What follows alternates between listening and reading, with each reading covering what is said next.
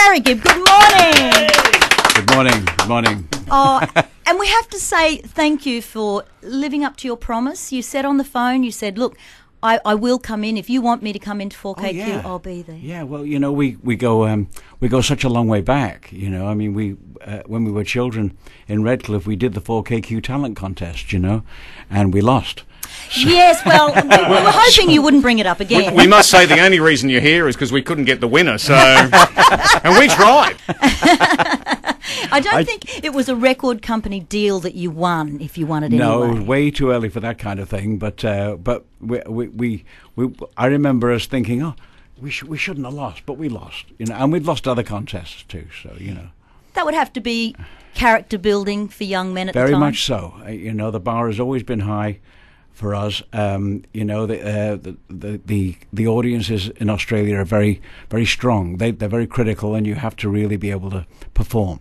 And I think that's what helped us all down the line. You know, you, we had to do it. We touched on this uh, when we spoke on the phone about the determination of you three boys. In particular, these days we get we get bands and Sure. artists that'll come into a radio station, but they're always brought in by managers and That's and true. and record companies.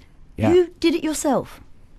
Well, I suppose so. With mum and dad, Hmm. you know, uh, uh, dad was a um, he was a, ba- a big band drummer during the war. He would play the Mecca circuit, and mum was a band vocalist, and so. You know, I guess it just rubbed off. It was in the genealogy. You know, it, uh, we started harmonizing very young, and so we knew something was going on. We just didn't know what it was. You know, and, and we'd make uh, we'd invent microphones with brushes with cans on the top, and, and pretend to be on stage at a time when we didn't even know about the stage. So uh, I think the beginning of television was what, wow, this is good, we'll do this.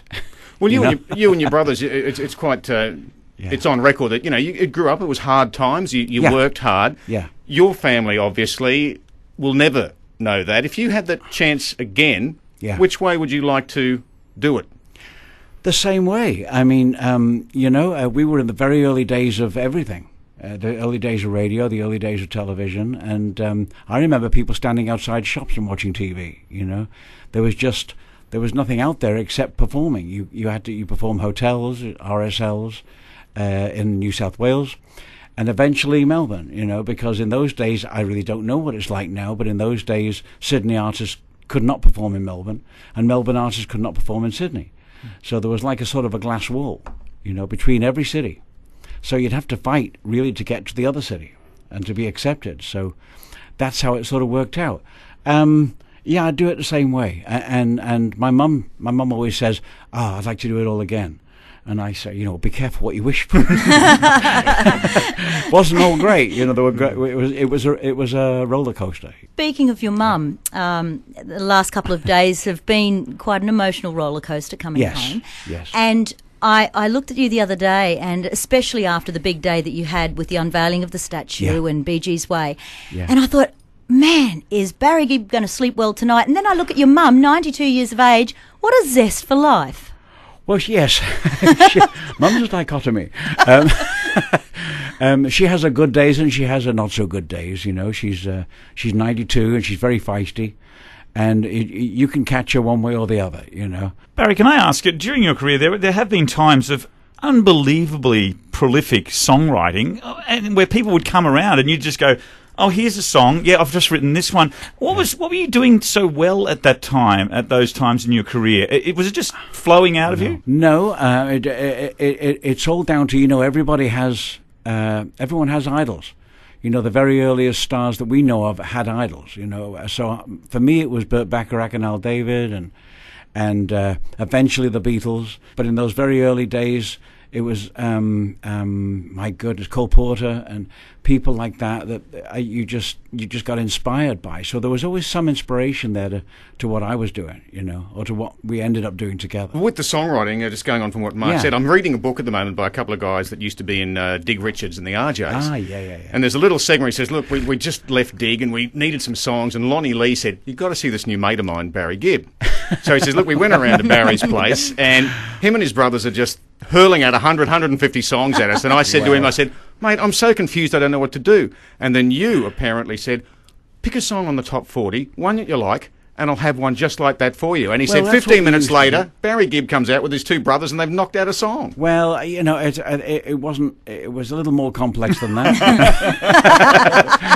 I remember telling people um, that you know I'd written 200 songs when I really hadn't written 200 songs. So you know, you're, you're always pushing the line, pushing the envelope, and telling people it's it's more than it really is. You know, we always chose somebody we loved. Uh, eventually, it was the the Beach Beach Boys or the Beatles and people like that, and we say to ourselves, let's write what we would imagine to be the next Beatles record, because the Beatles always gave you some. They never did anything twice in a row. You know, every record they made was something unique. You know, and so we took that on. We thought, well, let's imagine the next Beatles record, or let's imagine the next Beach Boys record, and maybe that's how it worked. You know, I think that's how it, it might have worked. You know. A lot of the artists you worked with, though, uh, Barry, it was great to see that you just didn't dump and run. For instance, Graham Bonnet and Celine Dion and Yeah, Barbra Streisand, a great singer and, and Yeah. great version. of Warm Yeah. Rise, just the most wonderful oh, right. song. Yeah, yeah, yeah. But you didn't you didn't sort of dump and leave them. You would No. see them through and help with production, and, and they always had that that Bee Gees' sort of stamp of approval on I, them. I don't know quite what that means. I just know that uh, uh, uh, I've always I've always loved great singers, and if I've always be, if I've had the chance, I would work with those great singers, you know, and uh, that's been sort of my story all along the line, from whether it was Barbra Streisand or uh, or Dionne Warwick. Dionne Warwick, I loved, and and so there are people, Diana Ross, you know, there are people like that that where the opportunity was just you could not pass that up. You just you just had to get involved. I love great singers. But Graham even was one of having the harmonies of the Bee Gees on there, Yeah. at the time you Yeah. didn't really think about it, but it just lifted the level of the song.